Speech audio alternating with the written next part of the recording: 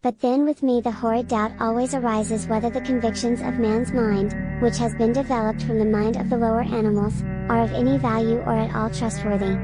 Would anyone trust in the convictions of a monkey's mind, if there are any convictions in such a mind?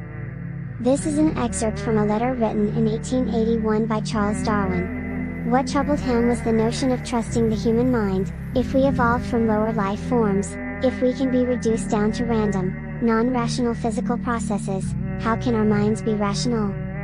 Indeed, questions such as, can we trust our minds? Can we reason to the truth? And, why and how have we acquired the ability to understand the universe? Have captured the minds of great thinkers throughout the ages. Our minds are truly fascinating, we have mental faculties which outshine all other creatures, and we seem to have cognitive abilities which surpass the requirements of natural selection. Natural selection is not concerned with truth value but rather survival value.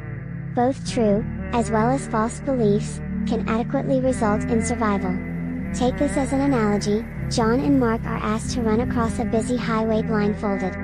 John's cognitive faculties are functioning perfectly, when he is asked to do this, he reasons to the conclusion that this would be extremely dangerous and declines the offer. On the other hand, Mark's cognitive faculties are impaired, which results in him believing that there is no traffic. At the same time, he holds the belief that someone has just glued his feet to the ground, which results in him not running across the road. This simple example illustrates that survival is not contingent on truth.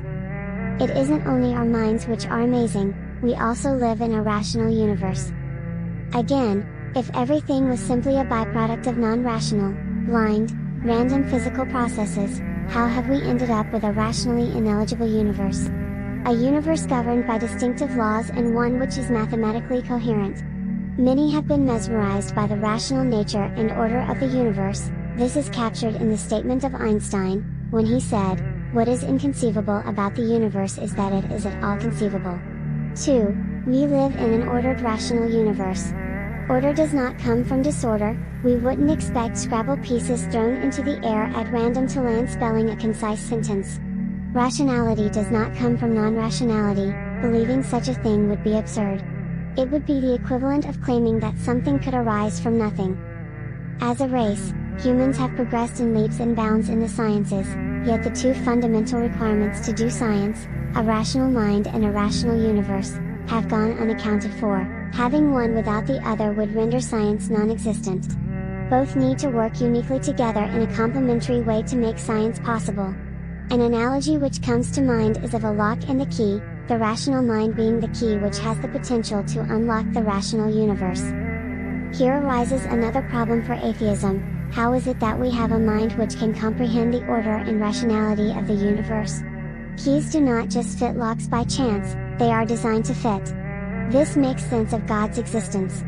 If rationality cannot come from non-rationality, and since we cannot trust our minds if they are just a result of blind, non-rational forces, then what best explains the fact that we do trust our minds and that rationality can only come from rationality?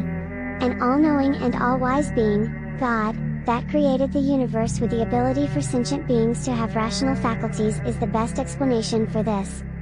In the Quran, Seldom does God engage humanity in attempting to prove his existence. Instead, he takes us from his existence, which is self-evidently true, to his worship. One way God does this is by directing us towards his creation, encouraging us to look into creation wherein lie his signs. It is through pondering and reflecting over these signs that we can appreciate his majesty and creative power, which naturally leads us to knowing and affirming that he deserves to be worshipped. God says in the Quran, Indeed, in the creation of the heavens and the earth and the alternation of the night and the day are signs for those of understanding.